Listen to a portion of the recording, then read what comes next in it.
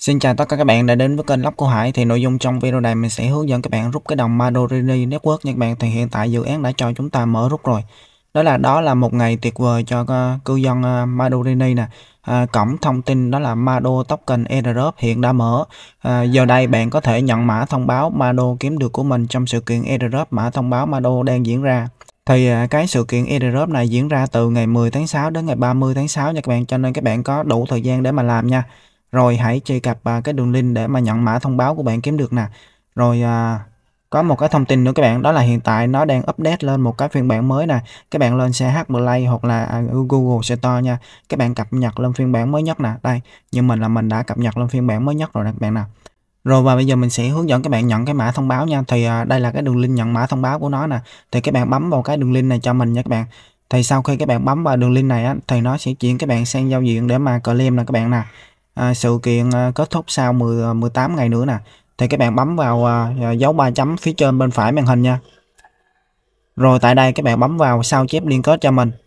Rồi thì à, đây là cái à, giao diện Madorini mới nha các bạn các bạn lên CH và lại các bạn cập nhật lên phiên bản mới nhất nha. Thì tại đây các bạn cũng có thể copy cái đường link này nè để mà các bạn có, có thể nhận airdrop nha các bạn. Đấy nói chung các bạn copy đường link nào cũng được. Các bạn copy đường link này các bạn dán vào cái ví MetaMask cũng được nha rồi bây giờ các bạn mở cái ví cái ví MetaMask của các bạn lên nha rồi sau khi mà các bạn mở cái ví MetaMask á, thì các bạn chuyển cho mình sang mạng Ethereum nha. Các bạn bấm phía bên trên để mà các bạn chọn đúng mạng cho mình mạng Ethereum nha các bạn. Cái thằng Mado này nó chạy cho mạng Ethereum.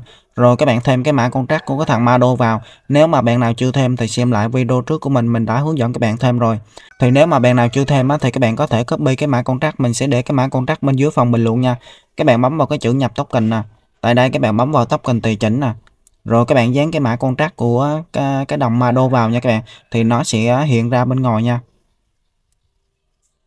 Đây thì nó sẽ hiện ra bên ngoài đây nha các bạn là chúng ta có thể rút nha. Rồi bây giờ các bạn có thể tiến hành mở một cái tab mới lên nha các bạn bấm vào à, à, cái trình duyệt nè. Rồi tại đây các bạn bấm vào hình ô vuông nè để mở một cái tab mới lên. Rồi các bạn bấm vào dấu cộng. Rồi tại đây thì các bạn dán cái đường link mà hồi nãy các bạn copy vào nha các bạn dán cái đường link này vào đây cái đường link để mà chúng ta nhận airdrop á, rồi chúng ta bấm vào thanh tìm kiếm nha các bạn. Rồi như vậy là chúng ta vào giao diện để mà claim nha các bạn. Rồi à, tại đây á, thì à, các bạn bấm cho mình vào à, à, cái phía bên dưới nè cái nút claim phía bên dưới nha các bạn các bạn bấm vào. Rồi ở đây nó kêu các bạn là connect với ví nè thì bạn bấm vào chữ kết nối ví nè. Rồi các bạn bấm kết nối nha. Rồi như vậy là chúng ta đã kết nối thành công nè các bạn nè. Rồi bây giờ nó kêu các bạn nhập cái Madorini ID nè. Thì bây giờ các bạn vào cái ứng dụng Mado của các bạn nha. Rồi à, để mà lấy ID á, thì các bạn bấm vào menu dấu ba chấm nè. Rồi tại đây các bạn bấm vào cho mình cái phần uh, nè. Rồi tại đây chúng ta sẽ tiến hành uh, copy cái ID của Madorini nha các bạn. Đây nè các bạn nè, các bạn à, uh, tại cái ProLine nè ở bên dưới có cái mà UID nè các bạn nè. Đây Madorini uh, ID nè các bạn nè. Các bạn tiến hành uh, giữ nha đấy đi giữ để các bạn đi giữ để mà các bạn copy cái mã ID nè. Đấy. Rồi sau đó thì các bạn à, quay trở lại cái ví MetaMask à, chỗ chỗ chúng ta đang làm để nhận airdrop nha. Rồi sau khi mà các bạn vào lại với MetaMask này, các bạn nhập cái à, ID cái ID Madorini vào đây nha. Cái ID mà các bạn vừa copy các bạn nhập vào đây. Rồi các bạn đi giữ các bạn dán vào. Rồi sau khi các bạn dán vào thì các bạn bấm yêu cầu airdrop nè yêu cầu thả dù nè bấm vào rồi như vậy là ở đây nó kêu chúng ta là tốn cái phí ga, cái đồng ETH nha. Các bạn còn phải có cái đồng ETH để làm phí ga nha. Thì cái phí ga của nó là 0.00037 ờ, nha các bạn.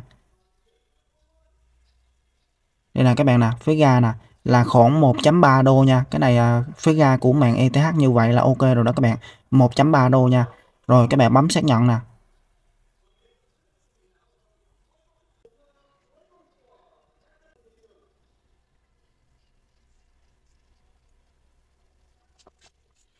Rồi như vậy nó hiện lên chân như thế này là ok nha các bạn. Rồi mình bấm ok nè. Mình thoát ra lại giao diện xem thử nó về chưa. Đây như vậy là cái đồng ma dorini của mình đã về cái ví MetaMask rồi nha các bạn. À, tốn 1.3 đô cái phí ra cái đồng ETH này nè. Thì cái đồng ETH này các bạn còn phải có là 1.3 đô là tối thiểu nha các bạn. Phải có hơn nha. Khoảng 1.55 đô là được nha các bạn. Đấy như vậy là chúng ta đã rút thành công nha các bạn. Và bây giờ chúng ta chỉ việc ờ, chờ lên sàn và chúng ta bán thôi nha các bạn rồi và tất cả mọi thông tin mình sẽ để bên dưới phần bình luận nha. Cảm ơn các bạn đã theo dõi video của mình. Hẹn gặp lại các bạn ở những video lần sau.